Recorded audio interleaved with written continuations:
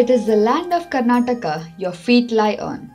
It is the treasure of Sahyadri your life sustains on. It is sandalwood that your senses feel.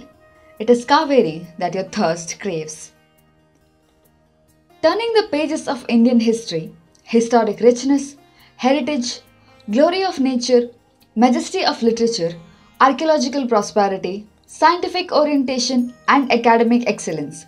It all can be traced down to one state named Karnataka. As the great poet Sri Vijaya states, Karnataka is the state that extends from river Godavari in the north and river Kaveri in the south. Owing to its naturally occurring richness and by the excellence and ambience accomplished by its people, Karnataka has sustained itself as one of India's most prominent parts.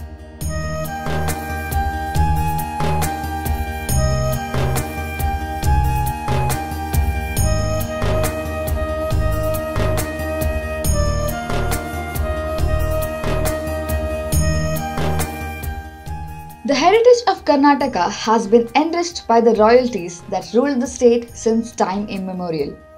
The Kadamba dynasty was the first among the royal families that ruled Karnataka. Following them, the Hoysalas, Gangas, Chalukyas, Wadairs of Mysore, Sultans of Bijapur, and many more strengthened the foundation of the state that we see today. History claims to us confidently that Karnataka used to be as rich as people selling gold and pearls on streets during the era of Krishnadevaraya in Vijayanagara. Abdul Razak, a visitor from the Middle East who came exploring to India during this time described the Vijayanagara Empire as something he had never seen before and never even expect to see in the future. It wasn't just Vijayanagara.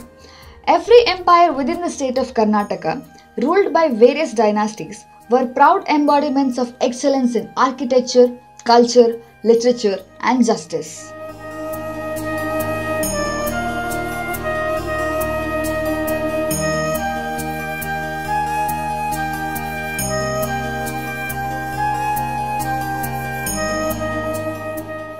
Come 1956, the divided empires of Karnataka were unified to be called Mysore. The day it happened, the 1st of November, is observed as Kannada Rajyotsava all over the state since. However, the unified state was renamed to be called Karnataka in 1973 and Kannada has been the dominant language of the state ever since it has come to being.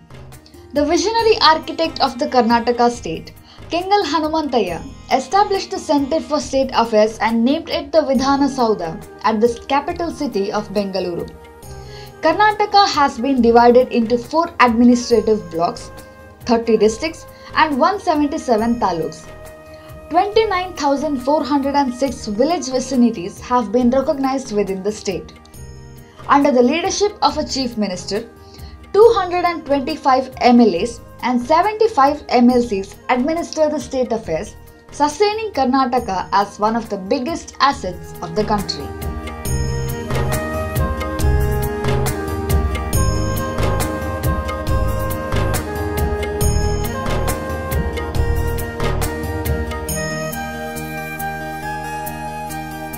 Karnataka has its own identities in every dimension we can point. A red and yellow flag is observed to be a symbol of our cultural richness, while the elephant is Karnataka's symbolic animal. The Indian roller is the officially named symbol of Karnataka among birds, lotus the official flower, and sandalwood the official flora. Of course, the most dominant and majestic folklore of Karnataka, Yakshagana, is recognized and accepted as the official cultural symbol of the state.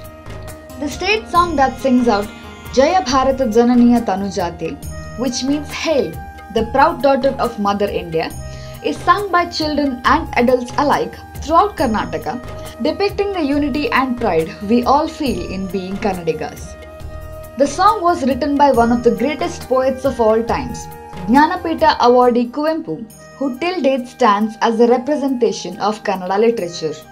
Speaking of literature, Karnataka is amongst the pioneers of the art of intellectuals in the country.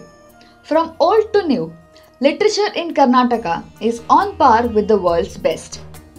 Poet Vijaya had once called Kannada writers as the most experimental folks ever, which is validated by the vast diversity of Kannada literary works available even today. Unparalleled excellencies such as Ranna, Pampa, Janna, Ponna, Lakshmisha, Kumaravyasa, Harihara, and Raghavanka set up the standards of intellectual literature for the world in Karnataka. There was also another line of poets and composers such as Purandaradasa and Kanakadasa who produced exceptional ballad-like poetry. In complement, poets like Basavanna, Allama Prabhu, Akka Mahadevi and more have left behind pearls of wisdom in the forms of vachanas. Coming to the modern literary era, writers such as Kuvempu himself, Dara Bendre, Shivarama Karanta, S.L. Bhairappa, Girish Karnad and more have upheld the old standards and strive to elevate it further. The highest literary award of the country, Jnanapita, was backed by Karnataka 8 times, which is the second highest after our national language Hindi.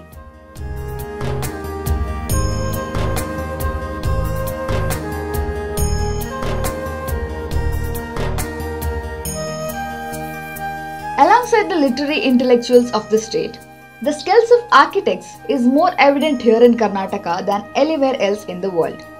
The Dravidian style of architecture, Sangama style, Nagara Vaishara style, and more have all been experimented with, enhanced, and presented by the architects of Karnataka that has made the state one of India's biggest tourist attractions.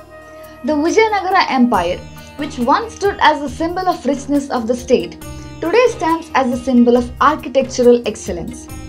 Hampi, within the empire, houses the biggest architectural masterpieces such as the stone chariot, Ugra Narasimha statue, the Vijaya Vittala temple, the Virupaksha temple and more. The capital of the Chalukya Empire Badami, capital of the Hoysala Empire Halebidu and Belur are wonders carved from stone. Other destinations such as Aihole and Pattadakallu are still amongst the biggest architectural wonders of the world. Towering over it all, the gigantic monolithic statue of Gomateshwara at Shravanabelgula is hands down one of the greatest wonders we'll ever see. Also, one of the seven wonders of the country, the Gol Gumbaz represents one part of Karnataka's history, and the palaces in Bengaluru and Mysuru represent another part of it. Most of the heritage sites in Karnataka have been listed by UNESCO as World Heritage Centers.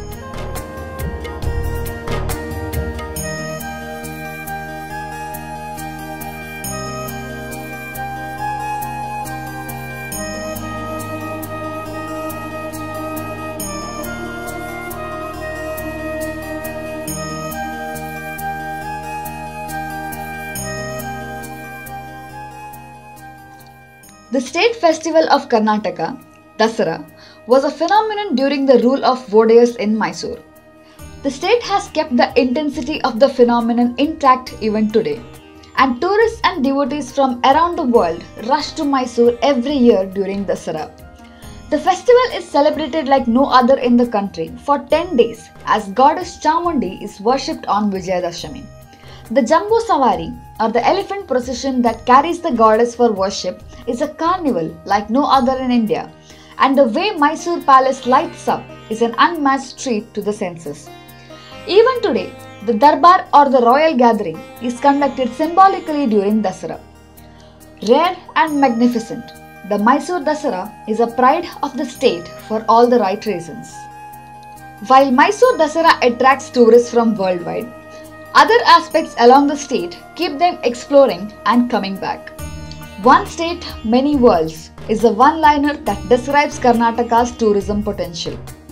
Kodagu, Mysore, Bengaluru, Chikmagalur, Coastal Karnataka, Dakshina Kannada, Vijayapura, Hasana, Hampi, Murdeshwara, Gokarna, Joga, Shivamogga.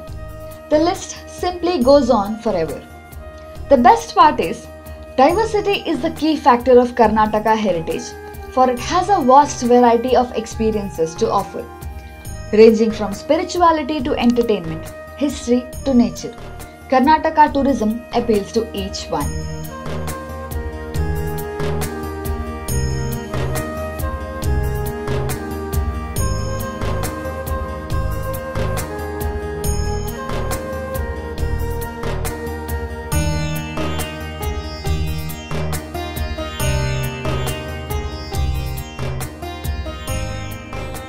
Biological diversity is yet another highlight of Karnataka.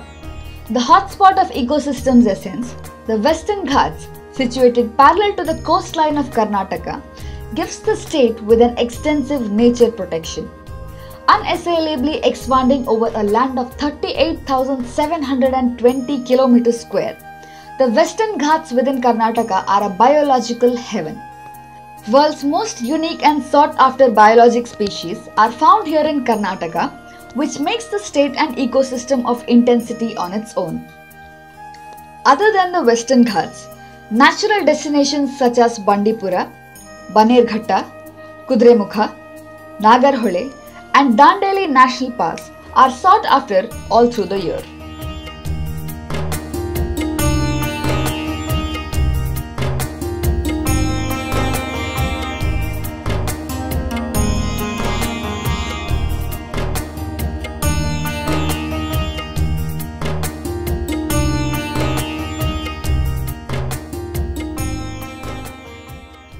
Agriculture is the dominant source of income and livelihoods in Karnataka. Food crops and commercial crops are given equal importance here, but the state is prominently recognized around the country for its production of excellent quality silk and sandalwood. Not to mention, each part of the state produces its own food variety that Karnataka proudly seeks and relishes. Well, the list of features of Karnataka seems to be unending after all. For there is still the reference of the folklore and cultural art forms of the state that have been passed down from generation to generation as an identity of the great Kannada state. The lifeline of the cultural heritage of Karnataka consists of folklore such as Yakshagana, Kamsale, Dollu Kunita, Gombeata, Veeragase, Karaga Kunita, Kattiyata, Hulivesha, and so much more. Amongst the folklore, special attention goes to the forms of worship that are highly intense by nature and also highly appealing to watch. To name a few, Bhutaradhane, Nagamandala, Kambala, etc.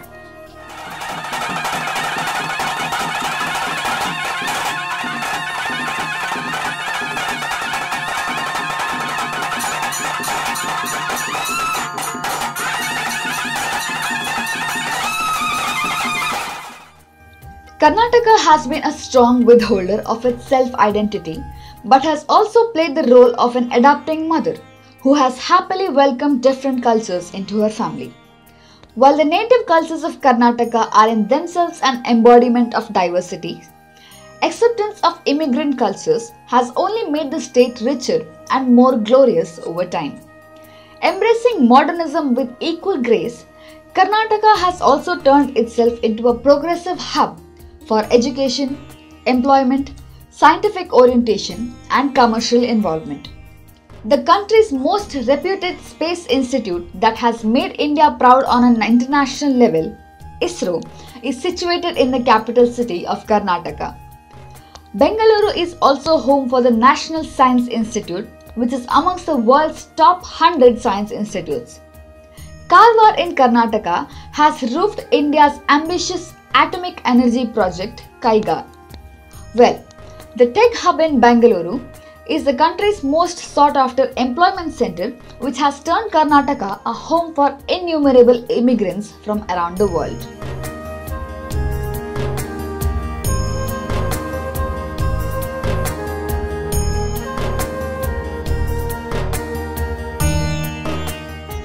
Embodying all the above mentioned aspects of Karnataka, a state within the state is an accredited heaven of majesties. Coastal Karnataka, consisting of Udupi, Dakshina Kannada and Uttara Kannada, is accepted to be the most progressive part of the state, strongly rooted in its historic heritage. It is known, though informally by many, that coastal Karnataka is the education hub of the country. With an educational institute arising from every corner of the area, a doctor, an engineer, or a double graduate hailing from every household here, Coastal Karnataka has sustained itself as the most sought after center for education in India for a long time now. However, it isn't just about education. Coastal Karnataka has also been accredited to be one of the most diversely blessed heritages in the world. Not only is this coastal city a proud cradle of numerous cultural and folk heritages, it has also welcomed migrating cultures with open arms. Culture, traditions, history, education, literature, and modernization go surprisingly hand in hand here, and it is only natural that every individual who sets foot on this blessed land shall love it with all his heart.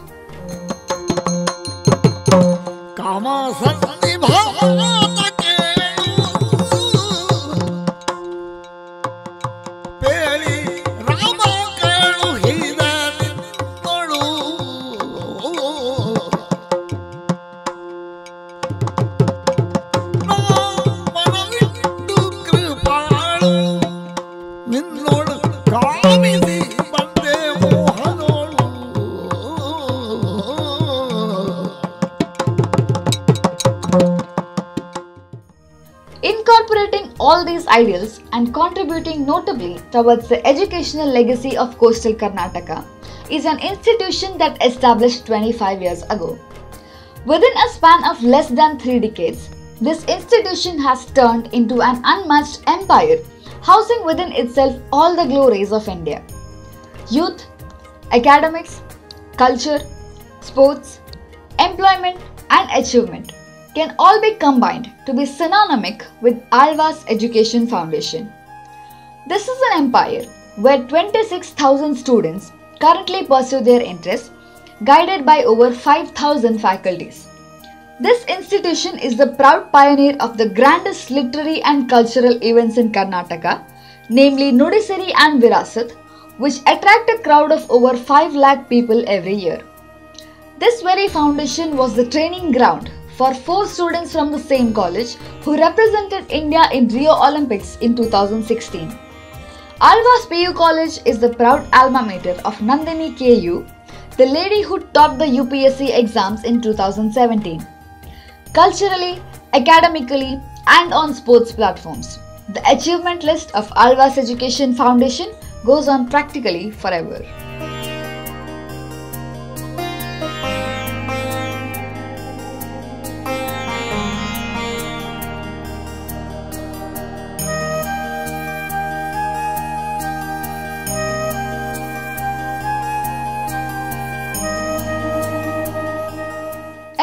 The glories sprouting from every nook and corner of this institution, what makes it notable is the sheer number of students availing free education here, owing to their talents and competence.